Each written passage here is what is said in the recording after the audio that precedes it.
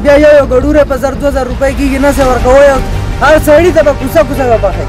ولې موږ سره خسر دی روډ چې کله موږ په د باندې شروع شو او دا موږ جوړاو نو په دې کې لګه د غریبانو د خلکو لګه خپل چاند وکړه خپل پیسې را غونډې کړې او په دې کې بیا خان نواب تقریبا د غریبانان کم خلک چې دی دا هغه بولډیزر موږ راوسته او دا هغه پیسې چې د غریبانو د پاتې دي خان نواب هغو سره لکه اوسه پورې همدردي کړې لکه هغه پیسې هغه غریبانو نه دی ورګړي ولا کم باقي کمی پیسې چې نو هغه مونږه لکه چانده کړې دا او دا پیسې مونږ را غونډې کړې دا دا روډ جوړ کړې دی دا دیوال یې نه دا مونږ په خپل پیسو باندې ډینو لګړ پیسې ور کړې دي دا ګټې مونږ ماتې کړې دي پروژه کې دا راوړي دا وټې کړې دا وټې نیمګړي پرتې دي په دیو باندې نور زموږ وس نه راځي اوس به مخکې لاړ شو مخکې د روډ حالات به تاسو هم ټول وینئ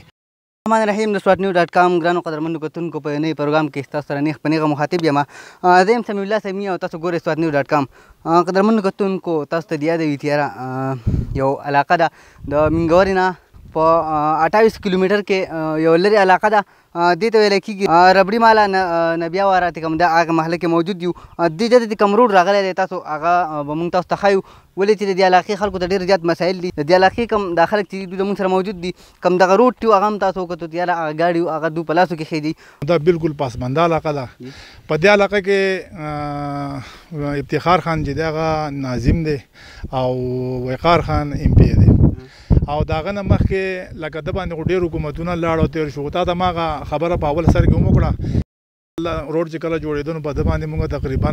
اټ دس لاک روپۍ لګولې دي او هغه کې څه همدرد دي چې دا څه په لکه کم چې پاسمانده کسانو ډېر بالکل غریبانانو نو هغه نه د خان نواب بلډیزر راغلو هغه خپلې پیسې دوم نه دي اخیستي باقي کمې زموږ چې کوم وس کېدو هغه موږ کړی دی او اوس د دې روړه لا تاسو لکه مین خبره اوس په دې کې دغه ده چې لکه اوس کوم ناظم چې دی هغه مونږ ته لګه باجری مقرر کړی دا نو هغه د دې ځنه راوغه زده سي په رهي باندې لاړه لکه هغه ځای کې اوار اوارو کوسو ته دغه ته ورسېده د دې ځای نه والا لکه د روړ ویخ نه حالات دغه دي زموږ روړ چې د روړ حالات وتا ولیدل ټول بجلی چی زموږ ده نو دا بجلی زموږ دا په تور تار کی لکه نهه میټری لس میټری دا په تور تار یو تور تار کی لګیدلی دی نو په هغه باندې چې معمولی لوډ زیات شي نو هغه وسوځي تارونه دغه شي موږ پسې لکه په هره هره دویمه دریمه ورځ باندې پسې موږ تارونه اړو روډ چې زموږ دی که نه روډ خو زموږ دا موږ په خپلو پیسو باندې په چانده باندې کړی دی خو په دې ډېرو غریبانو خلکو پکې روپۍ نه دي ورکړي او چا چې لږ ډېر وس کېده هغو پکې ورکړي دي زموږ د دې ایم پي اې نه ایم این اې نه د دیو نه دا ګیله ده چې اول نه اول زمونږ دا روډ چې ورنو دا خو د عوام خپلې پیسې د جب نه چانده راغونډه کړې ده په بلډوزر باندې لنګر نواله دیزي پورې وی وو اوس دیزي یوه مسله پکې ده چې دیزي نواله د سزا پر دا بارانه کې خټي غاړې پکې نشي تللی دې دپاره د باجرې منظوري وشوه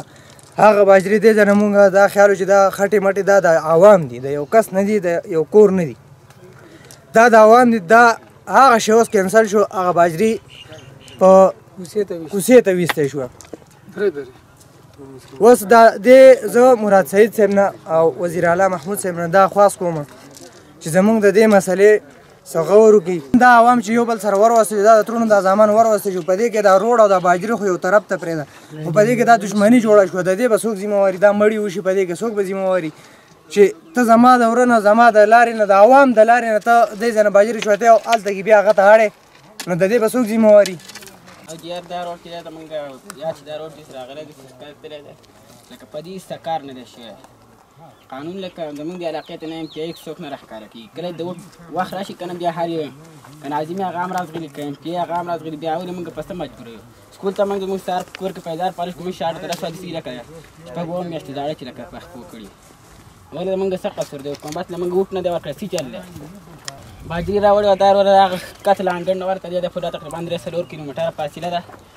باجري دلته په لاره کې واړوله اوس وړي په باره دا څه چل دی موږ څه وټ نه ورکوو یو کس ووټ ورکړي که صاحبت قوم ووټ ورکړي چاره اول بنیاد لازمي دی کنه له پاسه نه چت لازمي دی اول خلک کته بنیاد جوړ کې کور لاندې جوړ کې له پاسه چت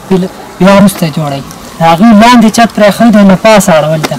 دا لازمي ده چې له اول دار جوړ کې بیا په هغه کې له پاسه بیا کار وکړي هر یو ګډ دور سره چې لګا بل ځای کې د کار کیږي چې هغه ونه شي مونږه په دې ځای کې دا زموږ ترځوي دلته دی